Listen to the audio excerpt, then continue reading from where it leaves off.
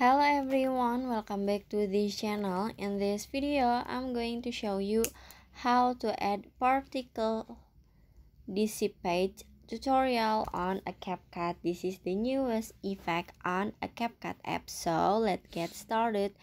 First up First, open your CapCut apps and add the photo that you want to edit because this particle effect just for the photo, not for a video. So you just click on your photo in here, click on it, and then click on the style.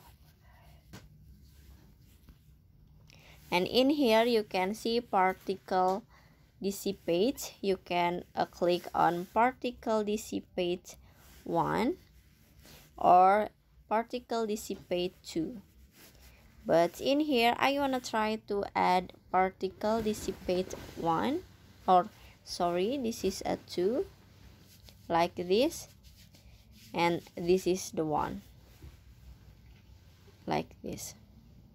And after this you can click check icon in here. And finish. So that how to add particle dissipate tutorial on a CapCut apps. I hope you found this video to be helpful. If you enjoy with the content, please consider like, comment, and subscribe down below. Bye-bye.